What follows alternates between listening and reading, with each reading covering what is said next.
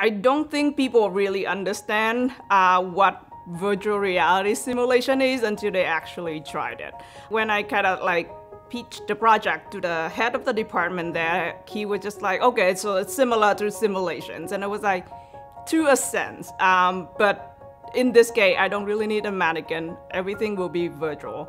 I think most of them was expecting to just put on the headset and maybe watch a video. I don't think they really understand or expected that it's gonna be they actually gonna interact with the virtual babies and will resuscitate the virtual babies.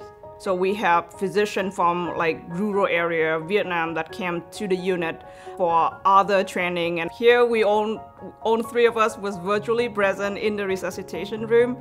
We were talking to each other. I just have to kind of relate what Dr. McAdam or the physician from Vietnam was saying.